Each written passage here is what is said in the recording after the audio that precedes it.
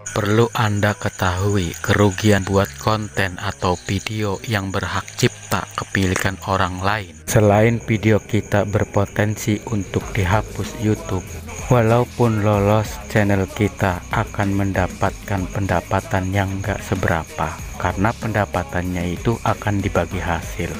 Walaupun lolos konten kita, emang kalau lagi masih kecil channel kita itu nggak jadi masalah, nggak jadi pikiran tapi setelah channel itu berkembang dan tenar, maka akan berdatangan masalah-masalah dan tuntutan-tuntutan dari pemilik hak cipta tersebut. Kerugian yang lebih besarnya lagi adalah apabila channel tersebut dihapus sama YouTube. Iya, Anda sekarang mengoleksi video-video yang berhak cipta sebanyak mungkin. Nanti di saat channel Anda sudah besar, pas waktu itu Anda dipermasalahkan sama pemilik hak cipta. Tidak menutup kemungkinan pas waktu itu para pemilik hak cipta menuntut dan YouTube berturut-turut menghapus video Anda. Sekaligus menghapus video lebih daripada tiga kali dalam waktu tiga bulan channel Anda itu akan dihapus karena sudah termasuk berturut-turut melakukan kesalahan maka saran saya sedini mungkin Anda membuat konten hindari klaim hak cipta ataupun konten ID karena itulah yang berpotensi untuk dihapus. Terus apa sih perbedaannya klaim hak cipta dengan konten ID itu? Sebetulnya antara klaim hak cipta dengan konten ID itu enggak ada bedanya karena misinya sama yaitu mengarah ke hak cipta. Cuman yang jadi perbedaan itu sistem kerjanya saja.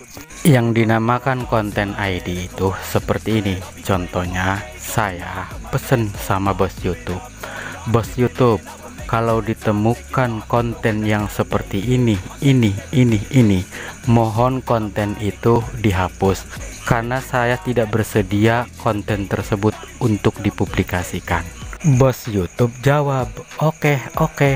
Nah, setelah itu Anda upload video.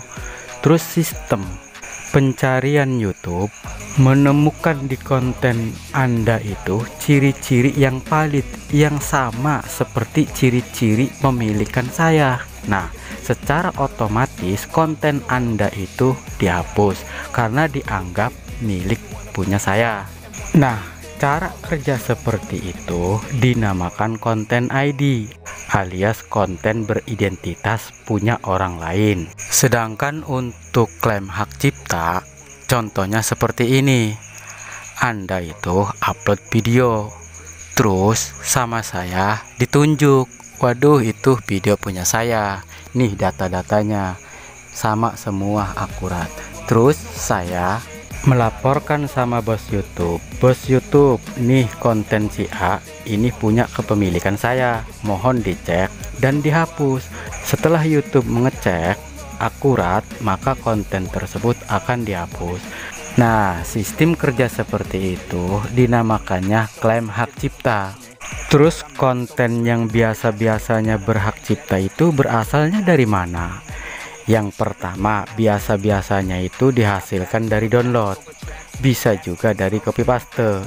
Bisa juga diambil dari website-website. Nah, misalnya di website kan tulisan, terus Anda dibikin jadi video, tapi suaranya ataupun rekamannya sama seperti tulisan yang ada di website tersebut.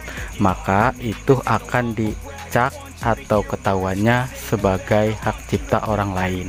Untuk lebih jelasnya seputar masalah website dijadikan video, saya jelaskan di video yang berbeda.